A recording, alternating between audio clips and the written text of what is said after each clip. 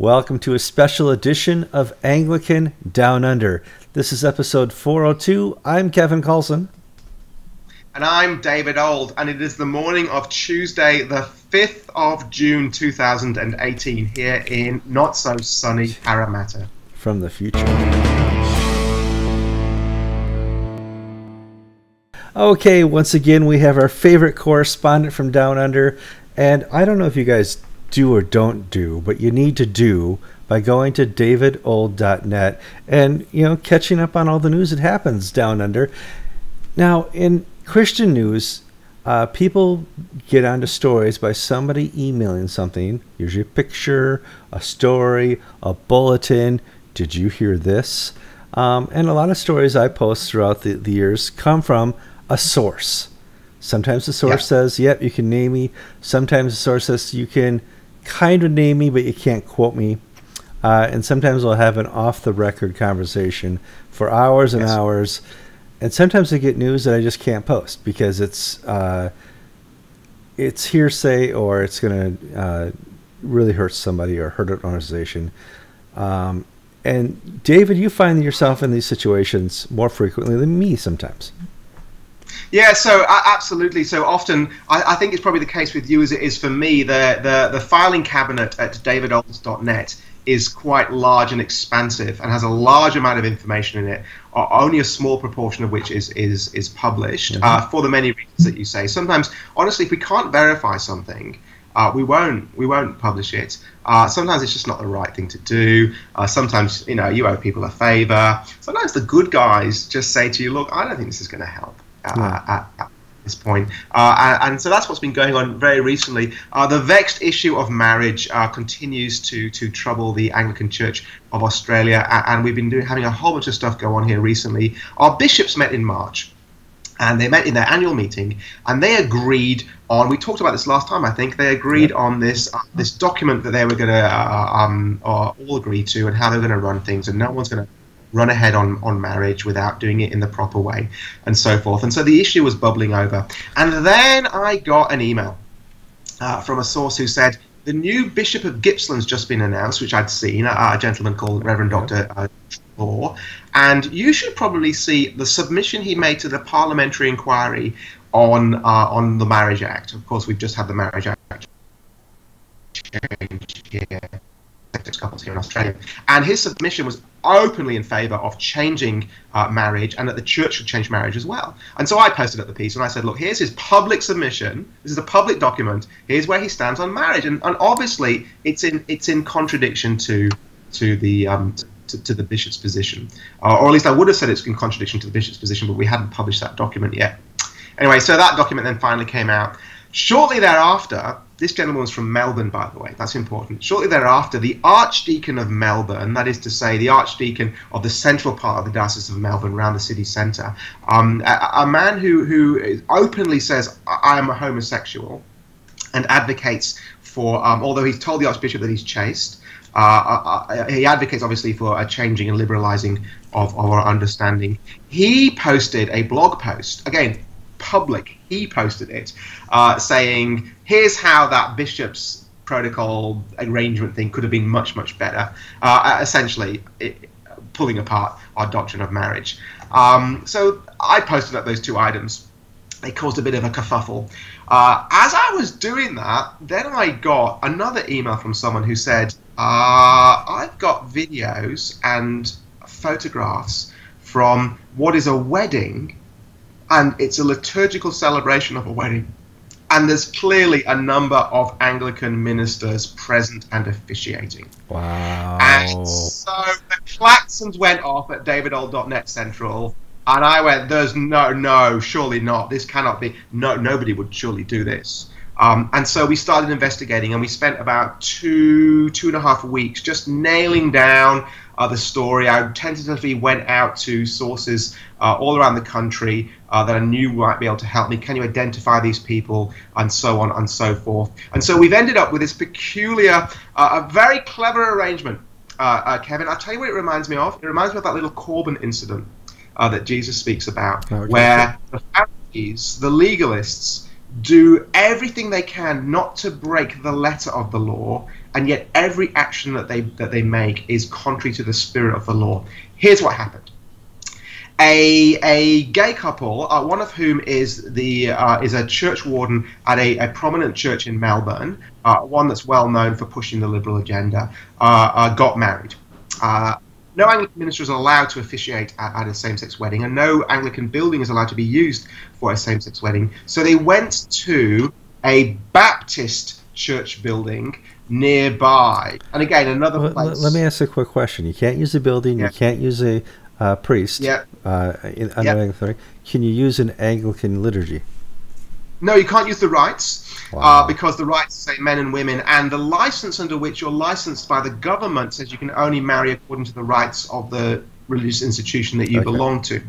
Okay, with me so far? I'm with you. It's clever. But one part of me is in is in rapt admiration of these guys for how well they've planned this and executed it. So they go to a Baptist church building. The Baptist rules are Baptist ministers can't officiate.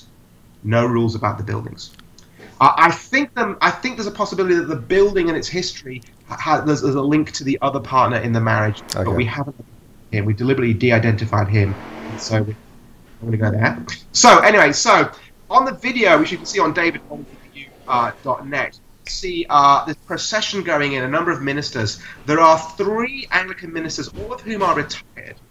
Uh, the last one to walk in uh, is a man called David John Moore. He walks in wearing a chasuble, and uh, sources from inside the ceremony uh, tell us that he was presiding over the marriage. Wow. He was the one- And afterwards, he celebrated communion. Afterwards, he celebrated communion. Uh, and now, however, he's not allowed officially to do the marriage, right? So they got in another guy. There was another Baptist minister there, a, a female lady uh, by the name of Munro. She's the first ever woman to be ordained as a Baptist minister in Australia. So you know, this is a pretty pretty big thing going on here.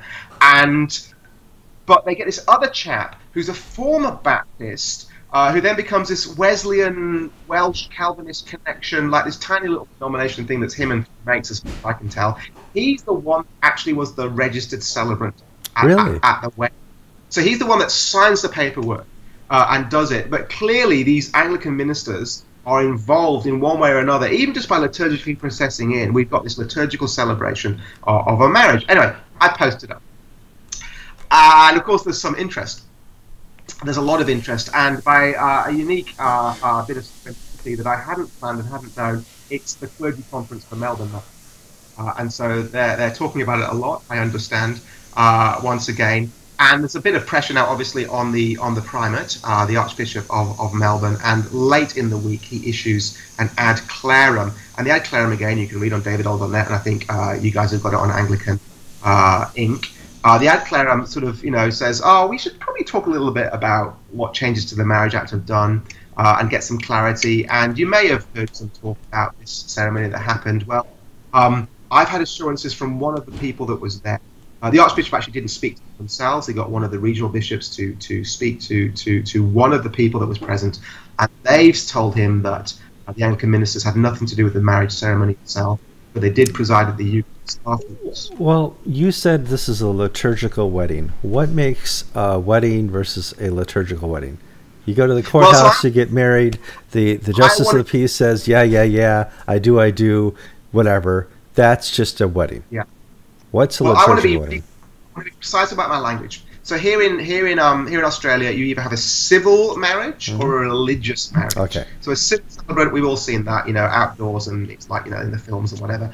Uh, religious, uh, a minister of religion will do it according to the rites of their religious denomination, uh, and they are the official celebrant. So they're the one that signs the paperwork. They're the one that says to the government they're married. So I've done that many many occasions, obviously, as a minister. This clearly is a religious liturgical celebration of the wedding. There's a if you watch the video, there's a procession at the start. They're all singing a hymn and they all walk in, and there's photographs afterwards. It's just it's, it's a church service, right?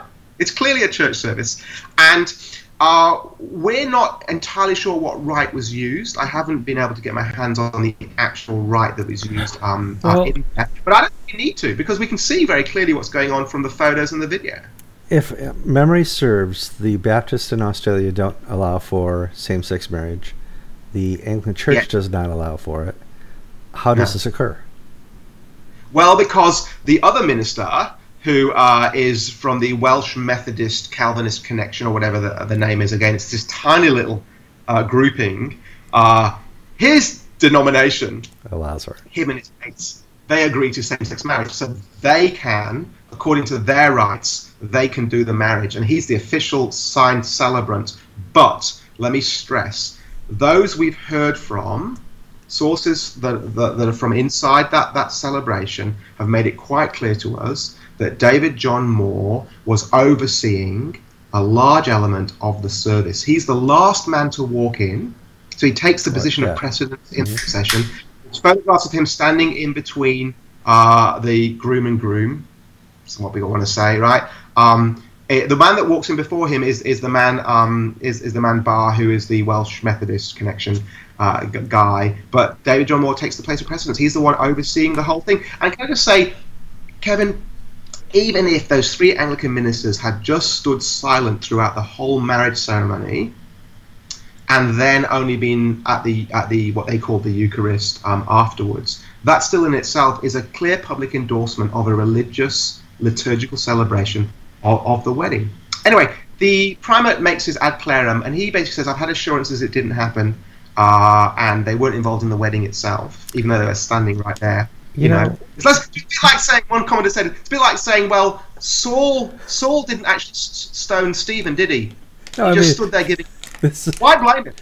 Like, why blame him? you know, He was he didn't stone him. He just stood there giving approval. Now, why give why give, give the guy a break? he wasn't ignore, involved. ignore the man behind the curtain. I know. Well, the man standing right in front of the curtain.